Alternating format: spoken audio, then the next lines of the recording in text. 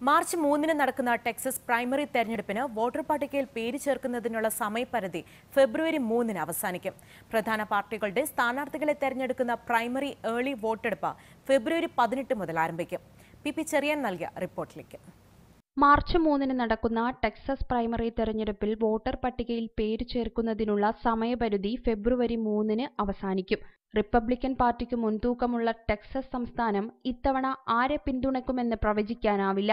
Voter പട്ടികയിൽ പേരു ചേർക്കുന്നതിന് ഇരു പാർട്ടികളിലെയും വളണ്ടിയർമാർ വീടുതോറും കയറിയിറങ്ങുകയാണ്. പ്രധാന പാർട്ടിയുടെ സ്ഥാനാർത്ഥികളെ തിരഞ്ഞെടുക്കുന്ന പ്രൈമറി ഏർലി വോട്ടെടുപ്പ് ഫെബ്രുവരി പതിനെട്ട് മുതൽ ആരംഭിക്കും. ഇത്തവണ സംസ്ഥാനം ഡെമോക്രാറ്റിക് പാർട്ടി പിടിച്ചെടുക്കുമെന്ന വിശ്വാസം പ്രകടിപ്പിക്കുമ്പോൾ തങ്ങളുടെ കോട്ടയിൽ വിള്ളൽ വീഴുന്നതിന് ആരെയും അനുവദിക്കില്ല എന്ന പ്രതിജ്ഞയെടുത്താണ് റിപ്പബ്ലിക്കൻ പാർട്ടി പ്രവർത്തകർ രംഗത്തെത്തിയിരിക്കുന്നത്.